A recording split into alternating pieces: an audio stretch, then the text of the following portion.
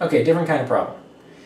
Given A, B, C, A, B, C is isosceles, meaning that AB is congruent to uh, AC. Okay? Given circles P and circle Q, right?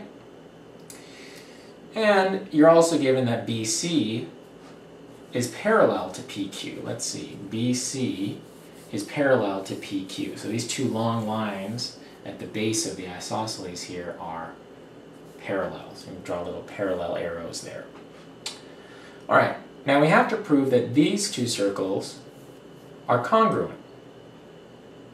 Now, this uh, personal irritation for me as a tutor, kids always want to draw a perfect little drawing and then they always want to make their little uh, you know, your little logic diagram here, right, with the statements, statements and reasons, right?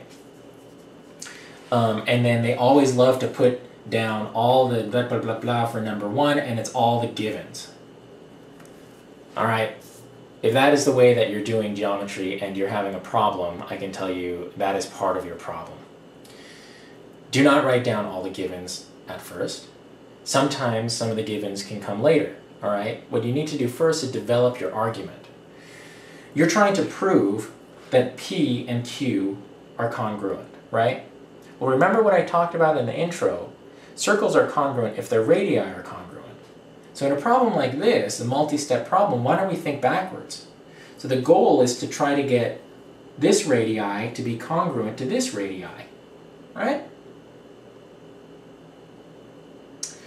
So we want this to be congruent to that. And what I see here is an isosceles triangle up top. So how do you think this is going to go down? Well, we know that AB, AC are congruent, right? It's not going to be hard to prove that AP and AQ are congruent, right? AP, this whole bit here, and AQ, right? And then all we have to do is subtract this pit to get that these are congruent. And once we have that those are congruent, of course, by definition, circles with congruent radii are congruent circles. So you see, I figured it out before writing my little chart. Now, for your edification, I'll tell you what to put in the chart. First thing you do is, in this case, you do put in the givens. You put in that ABC is isosceles with AB being congruent to AC. That's given. Your next statement is that you have circles P and Q and that this one is congruent to this one. And that's also given. Okay? Next, you're going to go for a little uh, corresponding angles, right? So you're going to get that angle ABC is congruent to P, ABC is congruent to APQ. Congruent, right? Why? Well, parallel lines. These are the corresponding angles. If you think of it like a quadrant, I think, well, they're in the upper right-hand corner, right? There's an upper right-hand corner angle, upper right-hand corner angle. So corresponding angles are congruent if you have parallel lines. And the same deal goes for here. So you can save time and put this is congruent to this and this is congruent to this in the same statement because it's the same reason parallel lines give you corresponding angles that are congruent. The next step is to state that ABC, this angle here, is congruent to ACB, this angle here. Why? It's an isosceles triangle, right? If sides then angles. Some teachers, you don't even have to say that.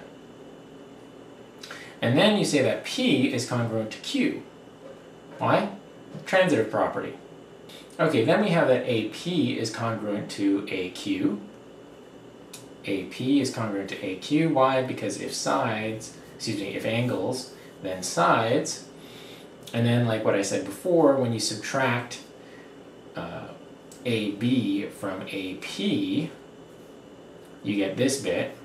And if you subtract AC from AQ, you get this bit. So therefore, your statement is PB is congruent to QC, subtraction, and uh, finally, these two circles are congruent because circles with congruent radii are congruent by definition.